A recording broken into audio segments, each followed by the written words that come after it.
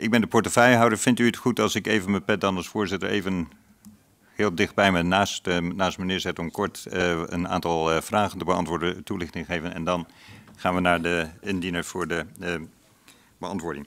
Laat ik eerst even een, een, een mogelijk misverstand even rechtzetten. Ehm, wat de heer Sittenpoel zei, we, we, hadden geen jeugdbouwers, we hadden geen geld daarvoor.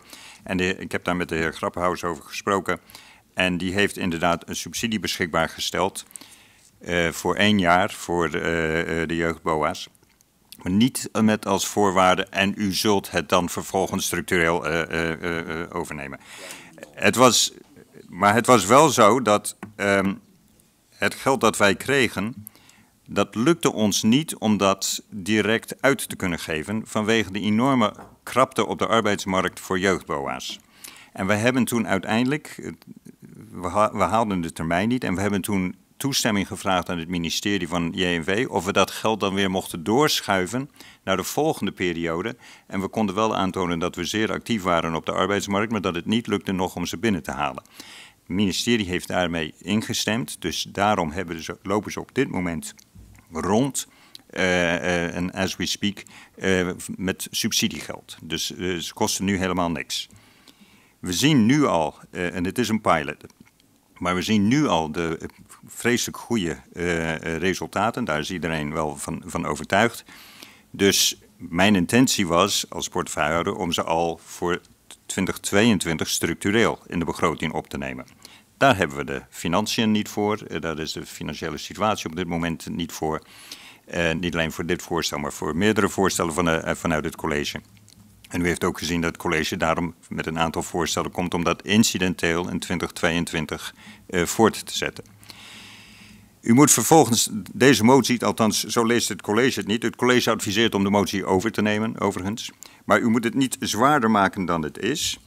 Uh, want er staat hier niet dat wij, uh, uh, als het in de perspectiefnota komt, het college zal met voorstellen komen, zowel bij de twee jeugdbouwers, maar ook bij de reguliere boa's, met voorstellen komen om het in de begroting op te nemen. Maar daarmee staan ze nog niet in de begroting. Dat is gewoon een voorstel aan u als raad. Dus de keuze maakt u als we de perspectiefnota in dit jaar 2022 gaan, uh, gaan vaststellen. Dus u maakt nu helemaal geen keuze van komen ze structureel in dienst. Zijn het er twee, zijn het er niet meer dan twee. Wij komen, het college komt gewoon met een voorstel om het uh, in die perspectiefnota. En dan is het nu aan, aan de raad om dat te doen. Voorzitter, in de tussen. Ja, de heer Korf. Maar als, zoals ik nu le lees als er staat, is het een voorstel om met twee jeugdbouwers te komen. Dus daarmee leg je toch al helemaal vast dat er dus twee moeten komen. Dus in die zin zeg ik van, um, als je nu zegt, kom met een voorstel voor onderbouwing met een plan waarmee we zeggen we gaan de, de bouwers een impuls geven, dan hou je het helemaal open. Nu zeg je wel, kom met een voorstel om met twee jeugdbouwers te komen. En u kunt mij niet vertellen dat u al, nu al weet dat er dan uh, twee, nodig zijn in 2023. Nee, daar wil ik uh, inderdaad op antwoorden. Wij zullen in die tussenliggende tijd, want ik heb net gezegd, de jeugdbouwers is een pilot. En op vraag van het CDA van ja, wanneer is genoeg genoeg? Dan heb ik het weer over de reguliere BOA's. Om een evaluatie te doen van en wat doen de jeugdBOA's tot nu toe? Hoe effectief is dat? Werkt dat wel of niet? En hebben we aan twee genoeg of niet? En ook bij de reguliere BOA's hebben wij genoeg aan de BOA's die we nu hebben of hebben wij uitbreiding van die BOA's eh, nodig?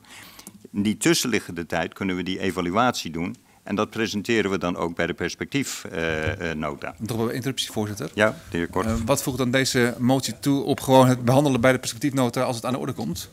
En dat zal ik dan zeggen. Wat voegt dit dan toe? U moet zich voorstellen, ik heb u net geschetst hoe moeilijk het was om deze twee jeugdboa's binnen te halen. We hebben toestemming moeten vragen van het ministerie om de subsidie langer beschikbaar uh, te stellen. Zowel op de arbeidsmarkt met jeugdboa's, maar ook op de reguliere arbeidsmarkt voor de reguliere uh, boa's is een enorme krapte. In het kader van de corona heeft minister eh, Grappenhaus miljoenen extra beschikbaar gesteld voor extra handhaving. Er is geen gemeente, durf ik te zeggen, en zeker niet in deze regio, die extra boa's heeft aangetrokken. Want ze zijn er niet. Het is echt een enorme krapte op de arbeidsmarkt. En we hebben het eerder vanavond gehad over signaalfunctie uh, van moties. Wij hebben nu twee hele goede jeugdboa's. De pilot loopt uitstekend.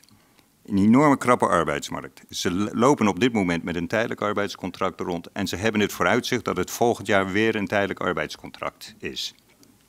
Oké.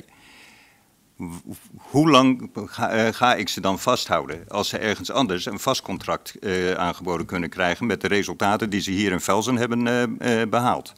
En daarom vind ik het, daarom ondersteunt het college deze motie. Het is ook een signaalfunctie naar de jeugdboa's toe dat de raad tegen het college zegt: kom maar met een voorstel in die perspectiefnota waarin ze structureel zullen worden opgenomen. Nogmaals, u, u bepaalt het op dat moment pas, maar het is wel een signaal naar die BOA's van we zijn echt serieus van plan om heel serieus te kijken dat we u structureel in de begroting gaan opnemen. Ja, voorzitter, en, dat... en toch, als mag per interruptie. Ja. Ik heb toch wel moeite met gang voor zaken, omdat we nu dan toch al gaan, gaan spreken voor de volgende raad. Dat wij nu, omdat we een signaal willen geven, gaan we eigenlijk al een stukje geld voor de volgende raad reserveren. Want dat gaan wij nu al voor jullie bepalen. Ik, ik vind dat een, hoewel ik de goede bedoelingen snap, want ook nogmaals het belang van de jeugdbouw zien wij ook. Uh, maar ik, ik geloof niet dat het minder effect gaat hebben als we straks bij de perspectiefnota doen. Of misschien zelfs in, de, in het voorjaar al met een, een sessie bespreken. Um, ik, ik, vind het gewoon heel moeilijk om nu aan het al, nou goed, uh, noem het maar, over je graf heen te regeren. Dat we nu al gaan, gaan zeggen, we gaan de begroting voor 2023, dat is over anderhalf jaar, gaan we nu al invullen voor het stukje om er nu een signaal te geven wat er feitelijk al is. Want we hebben al gezegd van voor heel volgend jaar heb je een, uh, een, vaste, een, een goede aanstelling. Dus ik, ik heb er heel veel moeite mee, uh, voorzitter. Voorzitter, mag ik een vraag stellen aan de heer Korf? Ja, mevrouw Egmond. Nou, weet u, ik, uh, ik heb ook al bij me uh, net al aangegeven dat ik het ontzettend belangrijk vind die twee jeugdboa's te kunnen behouden.